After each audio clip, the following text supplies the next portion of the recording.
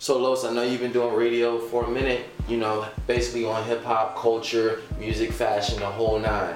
And this is your first introduction to YouTube, so just explain to everybody what made you want to do the crossover and what made you start? Like what you know what I mean? Oh shit, man! I start. I started out back in like '97, '98, Lang City High School. Shout out. Um, I started out with my boy Manny, and, uh, doing the radio station. Transition from there, doing that to Stockton Radio, to DJing, to owning my own business, and now I got this YouTube deal, and uh, you know what I mean. I'm just sitting here trying to blow up talent in South Jersey, and uh, in the meantime, do my world worldcast from different locations within the U.S. and then on to the world and I kind of you know sit within that, be within that uh, that state, you know, my world pass. So you know, what I mean, I'm starting here and then I'm moving out. But um, yeah, the bug started in 97, 98 when I was playing CDs at the local high school. So you know what I mean, like. That's me. Okay, because I know just just doing my research, I know you got your family, your lineage even goes back to music. So yeah, like, yeah, absolutely.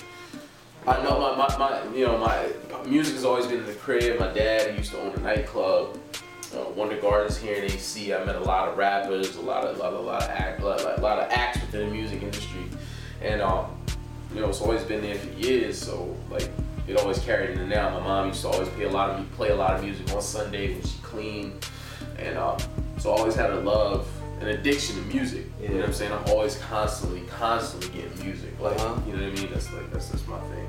Cause like just you know I'm saying you you know you've been around hip hop for a minute not saying you're an expert or a connoisseur but you know what you're talking about you know oh yeah yeah so I'm always researching yeah so like looking from the past to the present not too many artists are still relevant nah. okay now looking at artists that have been relevant in the past and have transcended into the future we got artists like you know Jay-Z yeah wearing a skirt uh, not good you know I know this is an interview but just express your feelings that. towards that. You know? I think like this: the leaders in hip hop, like this, like like hip hop is masculine.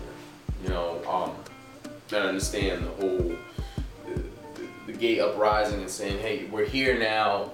You know, we're batting down those doors. But I feel as though people like a Jay Z who can have 25 million people knocking on Samsung's door to download Magna Carta Holy Grail, whoever has a Galaxy to get that free album, was a huge, huge uh, uh torch holding within hip hop, and somebody like him breaks down barriers and doors like that. But when I see somebody like Hove in a skirt, when you're the general, you're the captain, uh, it's, it's kind of like a letdown. Of course. Like like Hove jeans, tee, all that's good. Like seeing your dad cry. you know what I'm saying? Like, your dad cry. But no, like, like I take it like this: a Hove is supposed to be like a James Dean for hip hop white tee, jeans, leather jacket, timeless.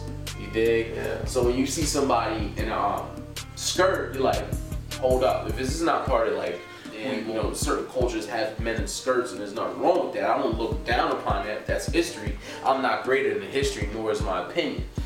So when I see somebody like Hove, are you listening to your your your your uh, uh, uh, um, style advisor, mm-hmm. or are you listening to yourself? Like me, I'm gonna always be in tee, jeans, denim, stuff like that that I can look back on 25 years and not look at this. I look at this like a dark era in hip hop, yeah. like the skirt era. This is what it is, the skirt era. You know what I mean? Like so, um, I don't want to ever look back on this period of hip hop like we look back on the hammer pants. Mm-hmm. You know what I'm saying? You don't want to be, you don't want to be that dude.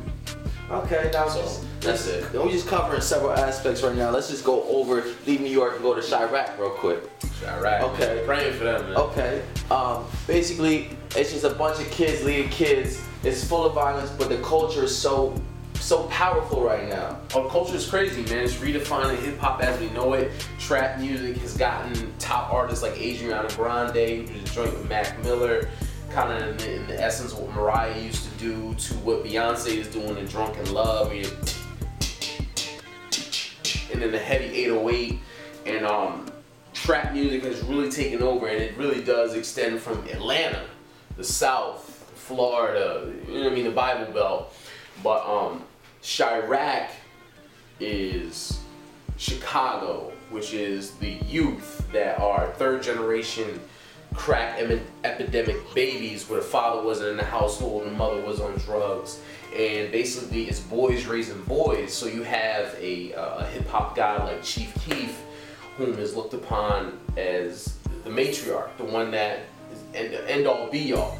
You know what I mean? And you got cats like RondoNumbaNine who are holding up rocket launchers like rocket launchers big. like who's doing that? You know what I mean? And it wind up catching him in the end, but whatever. Like I pray for Chiraq, you know what I'm saying? Nicki Minaj got the new track out, that's fire. Um, but Chiraq, man, oh my god, I, I don't even know where to, where to begin. But I know one thing, like, if it, needs to get hopeful at some point. You know what I'm saying? Because it's so detrimental. You got all this talent out I, there. I all see boys. rappers like Chance though. It, Chance a Rapper, hope. Acid Rap, shout out Chance the Rapper, Acid Rap, super solid mixtape. man. Super Number solid. one, it's the number one mixtape Number apparently. one So, mixtape. man. People are crazy about it right now. You know what I mean? Um, what else? but you know, also like transcending from Chicago that has so much influence to this area because Chicago influenced this area. We got people trying to be wannabe cheap South Jersey around here. Like, South Jersey is influenced by everything, man. Be it trap, be it New York music, be it '90s. but the question is, where do you see the future of South Jersey music going? Because right now, I feel like South Jersey doesn't have a leader. South Jersey doesn't have the one person you can go to and say, yo, that's the dude from South Jersey that's leading this charge in a certain sound. So I challenge South Jersey to to to bake that, not uh, to create that person who can be like, yo, I fucks with him right here. Like this dude right here is the sound of South Jersey. We don't have that yet. And if it is, correct me if I'm wrong. No, I'm I'm only an opinionated great personality. You feel me? Like so South Jersey really